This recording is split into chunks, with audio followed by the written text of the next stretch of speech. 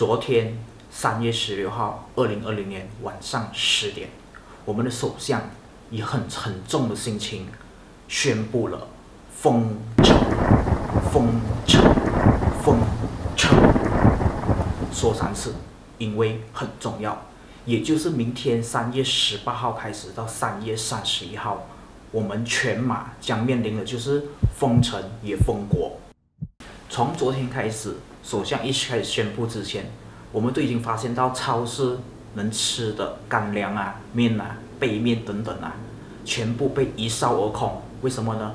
因为大家都觉得不能出门了。我们发现到，在中国武汉病毒发生的时候，整个互联网的 user 是一天比一天多，为什么呢？因为大家都在家里，没办法做任何事，所以这个时候，social media search engine 是不断的加深，所以在这段期间，可以用互联网在搜寻的人会一直的在增加。那么你公司的网站准备了吗？你已经开始做好你的 SEO 了吗？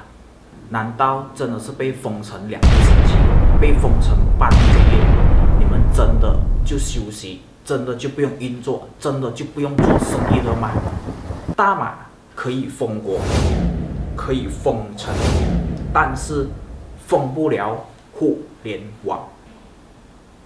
那刚刚我们有说到互联网封不了，所以我们要怎么样用运用互联网来帮助您公司的网站？来帮助您公司的销量，来帮助您公司的 online marketing 呢？很简单，其实只需要四个步骤，也就是四个步骤而已。但是你还没有进入这四个步骤之前，我一定要给你们知道什么叫做 search engine optimization。search engine optimization 简称为 SEO，中文为关键字搜寻优化。那什么是 SEO 呢？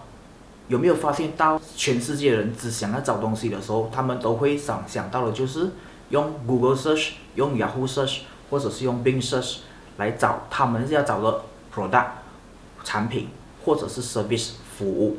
那如果你公司有做所谓的 SEO，你的公司网站就有机会在第一面排行，那么点击率当然会变高，因为当 user 在第一面的时候看到你的网站。他就有机会点击进去你网站，在点击进去后，他会开始在看，诶，这个产品是我需要的吗？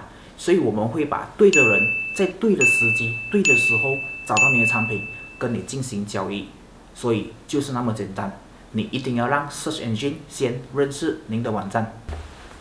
那说回我刚才说的四个步骤，那四个步骤其实非常简单。第一个步骤。你一定要知道，二十四小时里面都有很多所谓的 ready buyer，已经准备要买东西的 user。第二个步骤，你要怎么样让他们认识您的公司网站？第三个步骤，你要怎么样让他们对你产品有信心，然后爱上你的产品，喜欢上你的产品？